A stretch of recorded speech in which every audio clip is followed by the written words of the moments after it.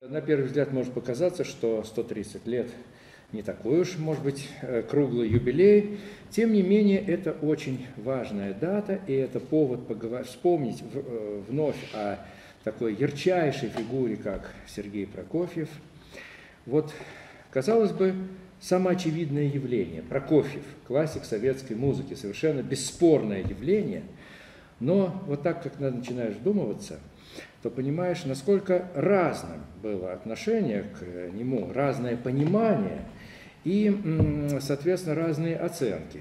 Ну, во-первых, э, как мы все знаем, такой один из футуристов, авангардист, что называется, э, так, на «ты» разговаривающий с классикой и так далее, такой представитель футбольного поколения со всеми вытекающими отсюда последствиями.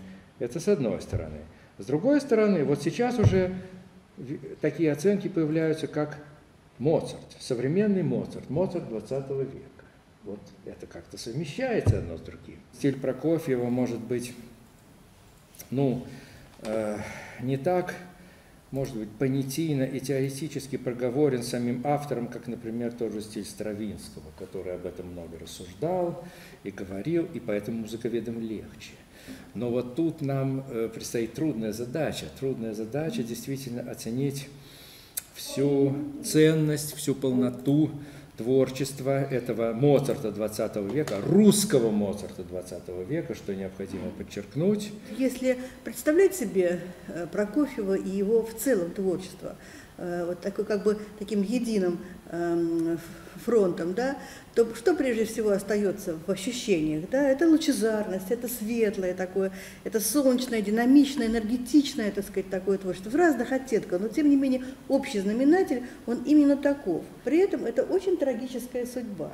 Трагическая судьба и э, э, трагический финал – Потому что вот начав с такой высокой ноты, звонкой такой, да, вундеркинд, э, такие успехи, такое новаторство, яркое такое вступление в 20 век, совершенно с новым тематизмом, с новой темой, э, так громогласно о себе заявив, э, так это, в общем, достаточно долго проявлялось, и такой кошмарный и ужасный, так сказать, финал и личностный прежде всего – и прежде всего, конечно, личностный. И вот он так, как и другие, попал в жернова вот этого сталинской эпохи, и, в общем, от нее и погиб.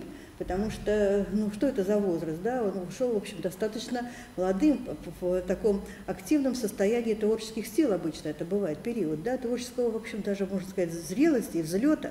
Но после вот этого трагического финала эм, опять начались Э, можно сказать, вот такая звонкая рецепция его э, творческих э, достижений, потому что то, что последовало после его ухода, до сегодняшнего дня продолжается, это исполнение его произведений везде, и театральных, и фортепианных, и э, симфонических, и это такой же бум, как, я не знаю, рахманиновский бум считается, что Чайковский, Рахманинов, и, но и Прокофьев исполняются больше, так сказать, чем кто-либо иной в, вообще во всем мире.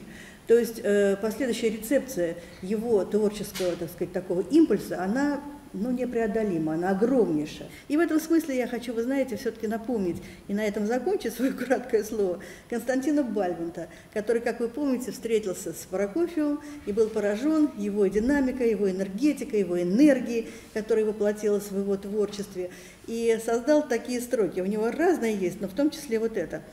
Прокофьев, музыка и молодость в расцвете – тебе востосковал оркестр о звонком лете, и в бубен солнца бьет непобедимый скиф.